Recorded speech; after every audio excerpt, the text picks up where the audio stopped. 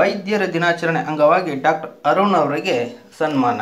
ಹಲಗೂರಿನ ದಂತ ವೈದ್ಯರಾದ ಡಾಕ್ಟರ್ ಅರುಣ್ ಅವರಿಗೆ ಹಲಗೂರಿನ ಗ್ರಾಮ ಪಂಚಾಯಿತಿ ಸದಸ್ಯರಾದ ರವೀಶ್ ಅವರು ಮೈಸೂರು ಪೇಟೆ ತೊಡಿಸಿ ಸನ್ಮಾನಿಸಿದರು.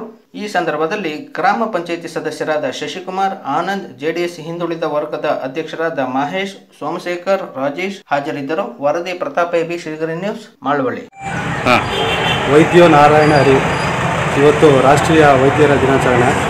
ಆ ಪ್ರಯುಕ್ತ ನಮ್ಮ ಡಾಕ್ಟರ್ ಅರುಣ್ ಅವರಿಗೆ ಇವತ್ತೊಂದು ಕಿರು ಸನ್ಮಾನ ಇಟ್ಕೊಂಡಿದ್ದೀವಿ.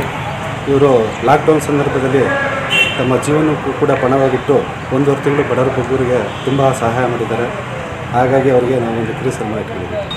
ನಗು ಫೌಂಡೇಶನ್ ಟ್ರಸ್ಟ್ ಅಂತ ಒಂದು ಟ್ರಸ್ಟ್ ಮಾಡ್ಕೊಂಡಿವರು ಇವರು ಒಂದು ವೈದ್ಯರ ತಂಡ. ಡಾಕ್ಟರ್ ಅರುಣ್ ಮತ್ತು ಡಾಕ್ಟರ್ ಸುನಿಲ್ ಅವರ ವೈದ್ಯರ ತಂಡ ಮಳವಳ್ಳಿ ತಾಲೂಕಾದ್ಯಂತ ಕೆಲವು ಬಡ ಕುಟುಂಬಗಳಿಗೆ ಸಹಾಯ ಮಾಡಿದ್ದಾರೆ ಮತ್ತು ಒಂದು ಸರ್ಕಾರಿ ಆಸ್ಪತ್ರೆಗೆ ಆಂಬ್ಯುಲೆನ್ಸ್ ಕೂಡ ಕೊಟ್ಟಿದ್ದಾರೆ.